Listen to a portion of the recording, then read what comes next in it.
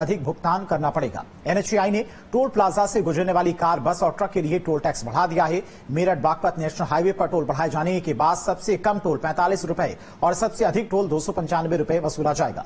Delhi Saharanpur national highway पर जीवाना toll पर सबसे कम नब्बे रुपए और सबसे अधिक आठ सौ नब्बे रुपए टोल वसूला जाएगा। झांसी, कानपुर हाईवे के रास्ते झांसी आने वाले वाहनों को सेमरी टोल प्लाजा पर पाँच से पंद्रह रुपए अधिक चुकाने होंगे। एक अप्रैल से राष्ट्रीय राजमार्ग के टोल प्लाजा पर टोल टैक्स की दरों को बढ़ाया था। इसके लिए गजट भी जारी किया गया था और लोकसभा चुनाव को देखते हुए इस आदेश को स्थगित कर दिया गया। अब मतदान खत्म हो चुका है। इसको देखते हुए 2 जून की रात 12 बजे से टोल टैक्स की दरें बढ़ाने का फैसला लिया गया है।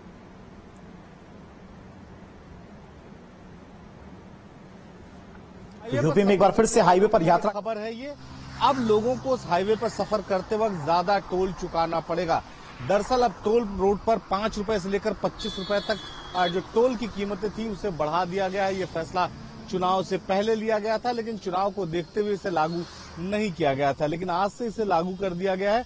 और ये माना जा रहा है कि अब लोगों की नाराज़गी भी इसको लेकर सामने आएगी। पहले डीजल की कीमतें बढ़ी थी, उसको लेकर लोगों में गुस्सा था और उसके बाद टोल की कीमतें अब बढ़ी हैं तो लिहाजा लोगों में गुस्सा होगा, लेकिन फ़िलहाल एक बात साफ़ है, चूँकि ये व्यवस्था लागू हो चुकी है, लिहाजा अब लोगों को हाईवे पर सफ़र करते वक्त ज़्यादा टोल चुकाना पड़ेगा।